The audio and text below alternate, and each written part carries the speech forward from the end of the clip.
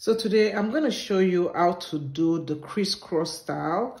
So to start off with doing the crisscross style, you want to first create a large section of where the crisscross would be. Or if you want to crisscross just one time, then we're going to do the crisscross right over here. But if you want to crisscross multiple times, then we'll just do different patterns. You want to section the hair twice so we're going to take this section, just going to clip it away.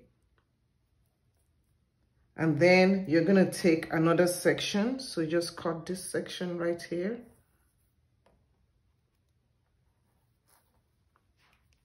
And gather it away. So clip it away. And then this section will not be crisscross. So for this section here, you're going to take the hair and you're going to divide it into half.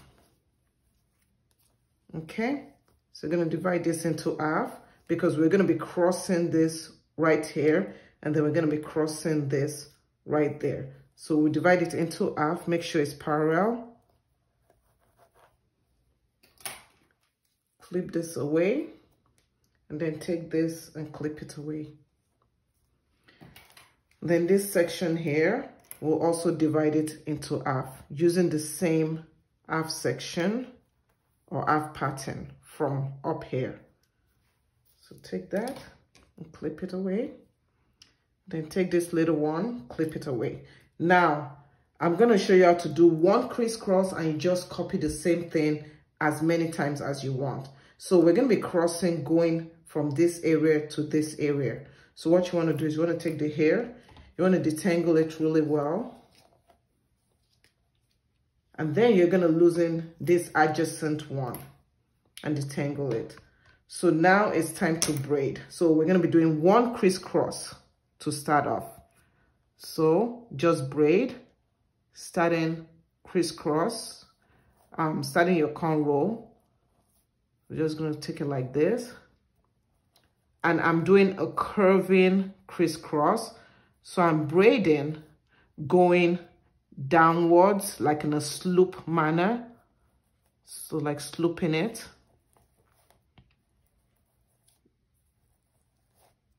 Okay. So when I slope it, then I want to curve it and take it to the other side.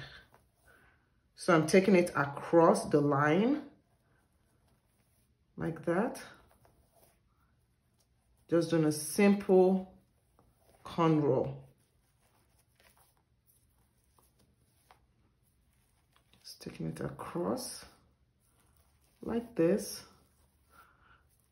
and walking it through. So this crisscross style is very, very easy to do.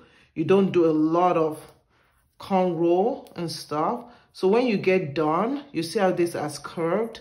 When you get done, you just clip this end so that it doesn't come loose. Now it's time to do the other side. So you're going to do the same thing on this side. So to do that, you just start from one section over here and I'm just going to start cornrowing and I'm curving my cornrow. So curving it like this. Very, very simple. So when you get to the point where the crisscross is joining, you just go over it. So remember, there's no hair to pick on this side. So don't be tempted to jump and start picking this one unless it will not be uniform. So you just cornrow, do as if you are picking hair, but indirectly you are braiding on top of the hair because there's no hair to hold on. Now, when there's hair to hold on, take your end and connect the hair like that and hold it on and start your cornrow. Grip it to the scalp so that it doesn't have a hole because if you don't grip it well, there'll be a gap over here and you don't want that. So once you're done, if you need to do another crisscross, this is when you now do another crisscross and you join this together. But because we're not doing another crisscross, this is just one crisscross that I'm showing you. Next, I'll be showing you how to do two crisscross. What you're going to do is you're going to release that hair and then you're going to braid everything together.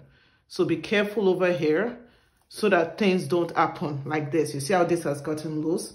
You have to be very careful so that it doesn't get loose. Let me show you how to fix this problem. So to fix this problem, you just loosen the hair just a little bit and then you just cornrow it. Make sure you cornrow it tightly because you will have that problem.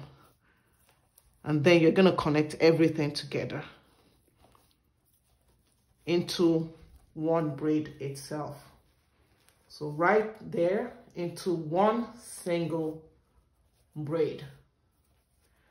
So this is how to do the crisscross styles. If you have any other style you want me to show you, I'll be doing it in the next videos.